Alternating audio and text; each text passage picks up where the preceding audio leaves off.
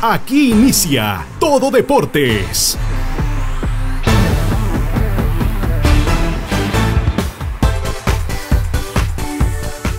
Hoy en Todo Deportes. Carlos Camiani Félix habla sobre su primer clásico en el fútbol guatemalteco. Persisten los problemas de pagos atrasados a los jugadores de Marquense. La selección nacional sub-20 se instaló en Panamá para disputar el clasificatorio de un CAF. Un Portugal comandado por Cristiano Ronaldo es el primer finalista de la Eurocopa 2016. Y la justicia española condenó a Lionel Messi a 21 meses de prisión. Aquí inicia Todo Deportes.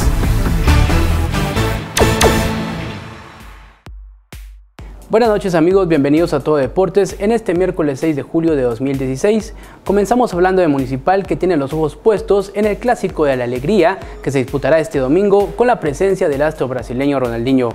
Carlos Camiani Félix opinó sobre su primer juego contra los cremas vestido de rojo. Ansioso porque empieza el torneo, eh, queremos llegar bien. Yo creo que este partido nos sirve muchísimo para seguir soltando, cada vez nos sentimos mejor ahí vamos saliendo de todo, de todo esto que ha sido la pretemporada, que es la base fundamental y esperemos llegar bien al torneo. Más que todo es un show porque viene Ronaldinho. Yo creo las expectativas, toda la visión va a ser para él. Eh, obviamente no se olvida que es un clásico y que hay que jugarlo con mucha seriedad. Pero creo que más que todo es para que las aficiones vayan a disfrutar de, de una leyenda como es Ronaldinho. Ahí vamos paso a paso. Tenemos esta semana para prepararnos para el partido del domingo y después viene San Lorenzo. Y después empieza el torneo muy ilusionado, como te digo, y con muchas ansias. Queremos llegar al 100%, estar a punto y pegar primero. Saber que sacar los tres puntos acá la primera jornada va a ser fundamental para agarrar confianza y que la gente se empiece a meter.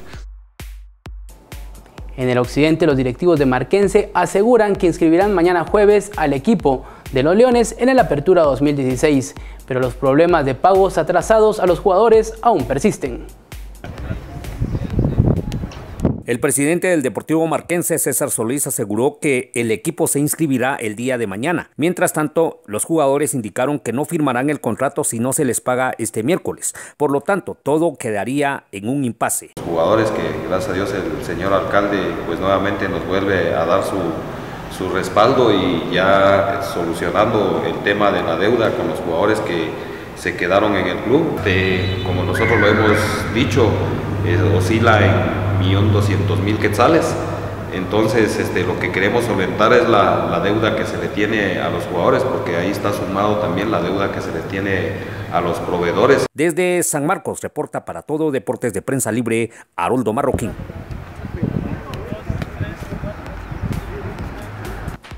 Además, hoy por la mañana viajó la selección sub-20 a Panamá, donde disputará a partir del próximo viernes el clasificatorio de la UNCAF con el objetivo de avanzar al premundial de la categoría.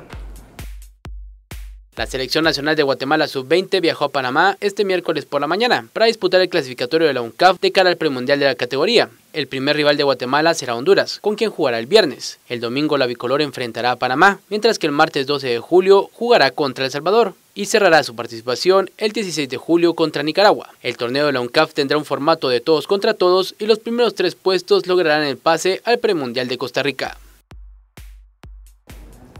Los invito a seguirnos en Twitter, arroba tododeportes-pl. En la Eurocopa Portugal venció a Gales y clasificó a la final. Cristiano Ronaldo fue pieza clave para conseguir la victoria frente a los británicos.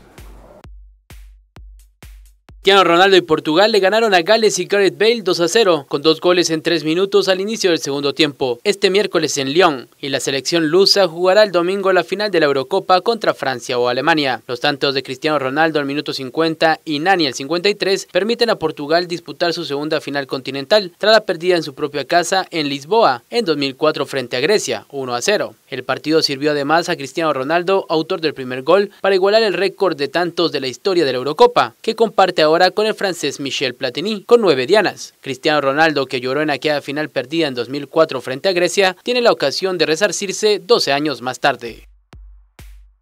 Además, Francia espera poder hacer valer su condición de local en la otra semifinal, mañana contra Alemania.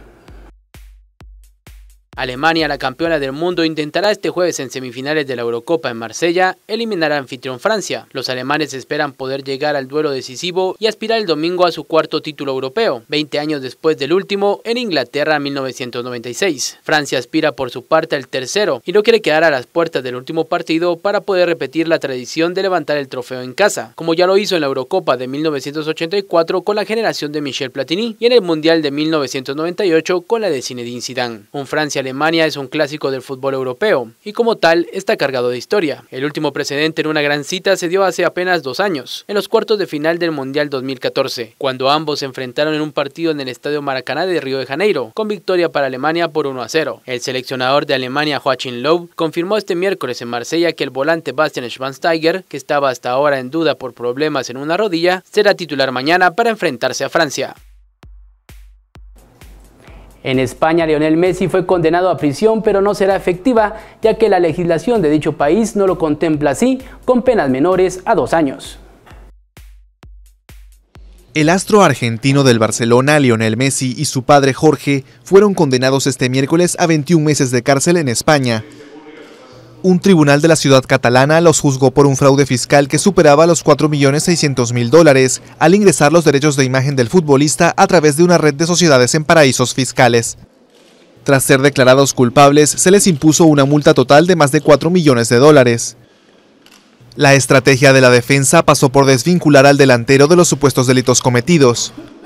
Messi aseguró que él se dedicaba a jugar fútbol, ignorando por completo cómo se gestionaba su dinero y qué eran los contratos que firmaba.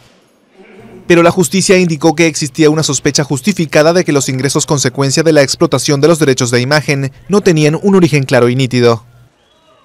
Difícilmente el astro y su padre ingresarán a prisión al ser penas inferiores a dos años.